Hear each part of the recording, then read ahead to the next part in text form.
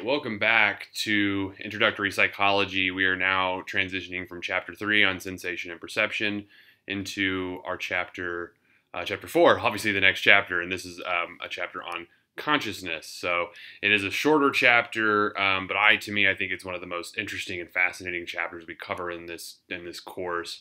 It's somewhat of an abstract concept um, and, and consciousness. Um, and there are a lot of different ideas and theories behind consciousness that we'll look at. But I, I think this is one of the more interesting chapters that we talk about. Um, so let's get started. These are the learning outcomes. By the time the chapter is over, you should be able to define what consciousness is um, broadly speaking, a state of consciousness. This, and you know, really, I i'm kind of giving the answer away now. But when you see that word consciousness, you should start to mentally replace it with awareness. That's sort of the, the really short definition of consciousness is awareness. Uh, we're going to look at some various states of consciousness, including sleep. So at the end of this chapter, you'll be able to explain the nature of sleep and different sleep disorders. Uh, you'll also, we're going to take a look at hypnosis, meditation, biofeedback training, uh, and how those are used for altering states of consciousness.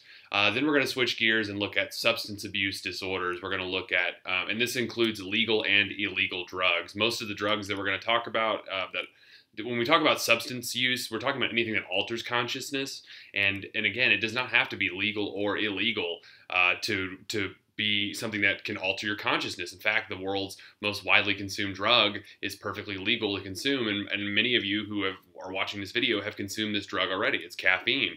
Most of us don't start our day without caffeine. It, uh, it obviously affects our behavior. It obviously affects the way we think and the way we behave. So, um, so yeah. Anyways, let's move on. We'll talk about that more. I don't want to. I don't want to spoil it all up front.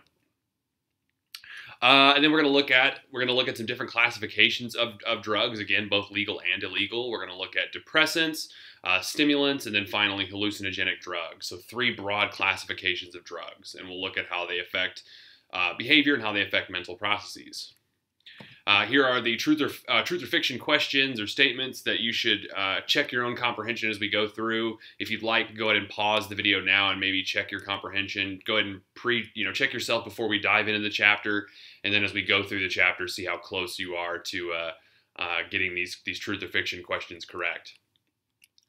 Okay, so let's review just very briefly before we stop. Um, take a couple of moments to jot some thoughts down about this, this statement or this question. Describe the difference between top-down and bottom-up processing. Go ahead and uh, pause the video, jot some things down, and come back whenever you're finished.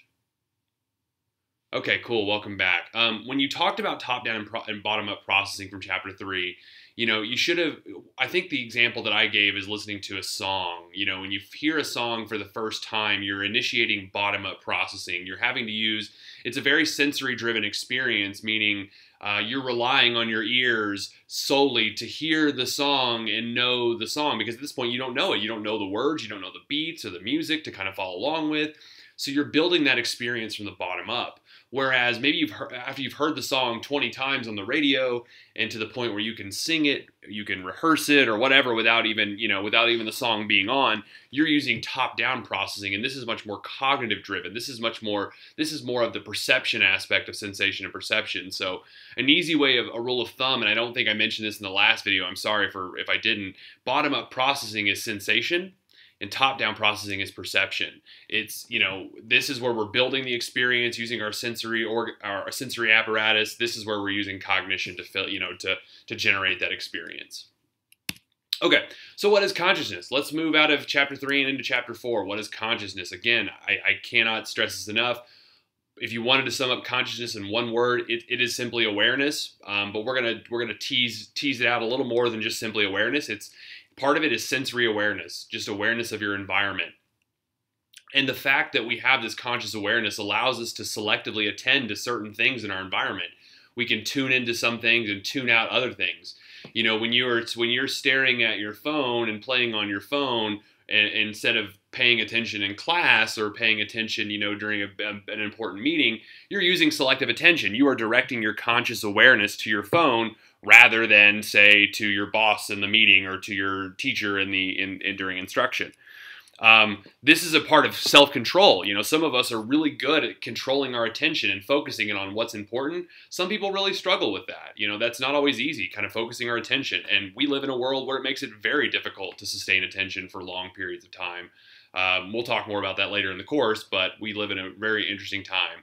Um, and, and, an interesting phenomenon related to selection of attention is this idea of the cocktail party effect, where you know where we our our sense of awareness is is becomes very sharpened among other people. You know where you can be at a cocktail party, for example, or a party or whatever, a gathering of people, and all of a sudden, you know, you're talking to somebody and you hear your name, and all of a sudden, you know, it, it, the party's loud, but somehow you're able to pick out that your name was just said across the room in an entirely different con- uh, um, conversation we can selectively tune. Sometimes we're really good about the selective attention stuff. Uh, sometimes not so much. But this cocktail party effect kind of shows you uh, the you know how, how, you know the sharpness that, that this exerts sometimes. Um, again, you know, it's it's awareness of the environment, but it's also awareness of self. Consciousness is is is not only knowing kind of what's going on around you, but also what's going on within you what are your thoughts your emotions your feelings you know that sort of that metacognitive ability to to self-assess yourself like hey i'm i'm feeling anxious right now. Oh i'm feeling good right now. I'm feeling happy. Just being self-aware. So it's two parts awareness of self and awareness of the environment or others. Now freud we talked about freud i think in chapters one uh, chapter one. I don't think we talked about him much since then but freud believed that we uh, consciousness human consciousness uh, or the mind is divided into three parts. We have the preconscious, and this is the things that we are not necessarily aware of, but they can become uh, readily available to our awareness pretty easily. So, for example, you probably forget the feeling of your clothes on your body as you go throughout the day. But now that I've said something about it, now you're aware. Oh, I feel my clothes. I feel warm. Like my jacket feels warm, or my socks feel warm on my feet, or my pants feel, you know, uh, they feel tight or they feel loose or whatever. You know, you don't think about those things until somebody brings it to your awareness. Now, the unconscious, according to Freud, is where it's totally outside of our awareness. It is not readily available. It's completely outside of our our um, our, our, our consciousness. And in fact, Freud, be- Freud believed that, um, you know, we in fact repress certain things. We try to push things down into this unconscious portion of our mind uh, in order to alleviate feelings of anxiety, guilt, or shame, or anything, any negative emotions like that. Um, the unconscious you know again also another way of doing this is you know could be suppression or repression you know just rejecting or ejecting certain thoughts um, non-conscious would be this is not the same thing as being as unconscious. This is you know these are bodily processes that cannot be experienced through sensory awareness. Um, so not not quite the same. You, you might hear sometimes the two terms used interchangeably but they're really not. If we're talking about freud they really are not to be used interchangeably. Um, so, and this is all part of this idea of the developing of the self, these different ideas, these different levels of conscious awareness, according to Freud, is we're, we're going to spend a whole other chapter talking about personality and self and things like that. So I don't want to belabor the point too much, but I just want you to know that according to Freud, all this stuff is integrated into our sense of self. Um, yeah, we have a waking state, which is sort of outside of these different, you know, outside of these preconscious, unconscious, non-conscious, things like that. Um, and again, you know, this is coming up. I, I, think we won't talk about this too much right now, but um, personality. Some some theorists in psychology, especially those like Freud or like uh, Maslow, you know, co- consciousness is, is essentially our self. It's all of these things, you know, all of these things, our impressions, our thoughts, our feelings, our behaviors, all these things that come together to form what we call our self. And we will talk more about that this concept of the self now. But I just kind of want I'm just trying to introduce these ideas and show maybe where consciousness sort of fits in. Uh, let's look at some altered states of consciousness. We are not going to spend too much time on um, any one of these, but we're briefly going to look at you know some of these. You know, um, uh, we're going to look at sleep, meditation, hypnosis, and then finally um, perceptions that are altered by drugs. Again, both legal and illegal. So for this first video, we're going to focus mainly on sleep, um, and sleep is determined by our body's circadian rhythm. The body has numerous circadian rhythms. Um, it's not just connected to sleep. We have, um, you know, hormones operate on a circadian rhythm. Basically, it's just circadian rhythm just means a 24-hour cycle. It's not necessarily eh, exclusively tied to sleep, but that's mostly what people think about it as. Um, interesting is there's some research that suggests that if, if we were eh, you know left to our devices and our circadian rhythm would actually operate on a 25 hour scale instead of 24 hours. Um, so you know when we don't when we when we rely so heavily on other cues, you know, in our environment like alarm clocks and things like that, you know, we we don't quite operate on our the natural sort of circadian rhythm we should, but obviously it's not that far off, going from 24 to 25 hours. Uh, more on on um, circadian rhythm. Our body will go through a series of stages about every 90 minutes um, during sleep, and I'll outline those on the next slide or two. So don't worry about that yet. But just know that in the brain, this is being regulated by uh, this. This is a, a, mouthful. I promise you, it's not too bad. But it's the suprachiasmatic nucleus, and this is uh, this is what stimulates the pineal gland pineal gland in your brain to produce melatonin. Again, melatonin is that chemical that makes you want to go to sleep. It's what your body naturally produces whenever, you know, you start turning out the lights or when the sun goes down. Your body, it's the signal to your body to know it's time for rest. Uh, again, melatonin promotes sleep. Sorry, I forgot to illustrate that. Um, you know, you've heard the saying, human beings, we need about eight hours of sleep. Well, that is definitely more than some species, and it's definitely far less than other species. You know, for example, bats sleep nearly 20 hours a day. Your cat at home, you know, your cat Fluffy at home only sleeps. I say only sleeps about 15 hours a day. You know, I you know talk about jealousy, man. I'm I feel lucky to get seven hours of sleep. Some days I, I couldn't imagine getting 14 or 18 or 20 hours. Uh, whereas cows and sheep and goats, it looks like farm animals don't get quite as much. Maybe there's something to do with working on a farm. I don't know. Uh, but humans, we're right here, eight hours, and that eight hours is, you know, it's a it's it's a good number, but it's not for everybody. Um, some people really need eight hours. Some people need less. Some people need more. I'm the kind of person that as long as I get about six hours of sleep, I'm good. I like to get six to eight hours of sleep, um, but I rarely get more than eight. That is a tie that is so rare for me ever to get more than eight. And it's actually rare that I can even stay asleep for eight hours, even if I have the time. Uh, my body is just so attuned. And maybe you'll notice that of yourself as you get older that maybe you don't quite need to sleep as much.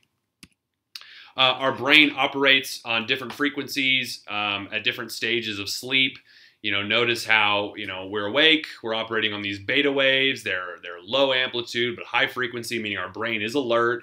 Uh, however, we start to transition into alpha waves as we get drowsier. We have higher amplitude, but the frequency is slowing down. Our thoughts are slowing down. Maybe they're kind of spiking, maybe a little bit in intensity, but they're slowing down. And then we're asleep, and we move into stage one, which is theta waves. Uh, we are technically asleep. It's a very, it's not a very deep sleep. Uh, stage two, we move into stage two over time. This is called we experience sleep spindles. These are kind of like random spikes or, uh, or of, of, neurological activity. Um, stage three, we're entering the delta waves. This is getting into the, the, the deeper sleep. Uh, stage three and four are the deepest stages of sleep. Uh, and then this is called non-REM. REM sleep is its own stage, is rapid eye movement where you can literally see somebody's eyes fluctuating behind their head. Um, and this is the stage where you're most likely to experience dreaming or remember your dreams. You can you dream at all stages, um, but you're more likely to remember. It. It's more likely to be visual, so where you remember it. And we go through all four of these stages, you know, about every 90 minutes throughout the night. And I think there's a graph on the next slide. Yeah, so we go through it on an eight-hour night. You know, we typically go through about five cycles of the stage. You know, we or we go through the stage, you know, four to five times. Um, you know, our first time we go through the cycle is typically the deepest and longest, and it gets shorter and shorter as we go through. We actually spend less time in those deep stages of sleep and spend more time in REM as we as we sleep longer in the night. Um, yeah, your last REM period may last for about 30 minutes, but here is the stage. So you're awake, one, two, three, four three, two, rem, one, two, three, four. Now, notice, now notice the four. Look at the gray, the gray, uh, the sorry, the gray, the blue here. Uh, it's shrinking. Notice we're not spending very much time in four. Notice by the time we're in, you know, three or four in the morning, we're not spending any time in that really deep sleep. In fact, we're spending more time in REM as things go on. And that is the sweet stuff according to most sleep research. REM sleep is sleep is about not only getting quality of sleep or quantity, excuse me. You want to get your 8 hours obviously or however many you need, but you also want to get quality and REM is the quality. That is where the good stuff happens and we'll talk about in another slide.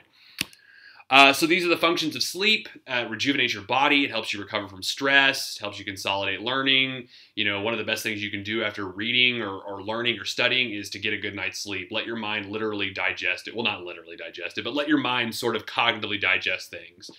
Uh, and also, infants, there's a lot of research that shows that infants sleep a lot and it's part of their brain development. There's a reason why infants in that first year, they may sleep, you know, 12 plus hours a day, especially when they're really, really young, young children. Um, it's part of this brain development. So, a lot of benefits of sleeping, a lot of benefits, a lot of functions for sleeping. Again, um, the amount of sleep is it's we, we say eight hours, but that is different for everybody. It may your the amount that you require may be determined genetically. Um, if you're under stress, you may need more sleep. Obviously, sometimes when you're stressed, it's hard to get sleep, so that's really interesting. And then there is this kind of, you know, there is a belief or an assumption that the older we get, the less the less sleep we require, and and that might be to physical discomfort. It might be to you know, we have more in our minds as adults. I mean, there's a lot of factors involved, but you know, talk to your grandparents, talk to your parents um, if they are still alive, and you can talk to them. Ask them, how has your sleep changed? Because I noticed that my grandma, you know, my grandma and grandpa, they're both they're both alive. Uh, both sets of grandparents are alive, thankfully. But I, one of my grandparents, I, every time I talk to her on the phone, or every year, it seems like. Uh, she wakes up earlier and earlier and earlier. Nowadays, I think she's getting up around two or three in the morning. Uh, you know, my grandpa still sleeps in quite a bit, but you know, she is something about as she's gotten older, she just gets up earlier and earlier. The need for sleep is just not as much. Um, so again, we mentioned this on the previous slide that um, that uh, sleep is connected to memories, it's connected to learning. Um, you know, when we don't have REM sleep, research shows that we just don't learn as efficiently. We're it takes us longer to learn the same amount of material, and we're more likely to forget. And also, the brain, it's kind of starved for REM sleep. In fact, it'll go into what's known as REM rebound, where you're, it's almost like when you fall asleep, your body will try to get to REM as fast as possible to make up for the lack of REM sleep, the deprivation of REM sleep. So, again, quantity and quality are both important but especially quality when we're talking about REM. Okay, so I'm going to wrap up here. I wanted to stop at sleep. I didn't want to overwhelm you with too much. I wanted your brain to have the chance to digest some stuff. So we're going to stop here. When we pick back up, we're going to jump into meditation, um, hypnosis, and I think biofeedback, and then we'll you know we'll switch we'll transition into uh, drugs. So that's really it for this video. Uh, tune in next time, and we'll pick up in chapter four. Thanks.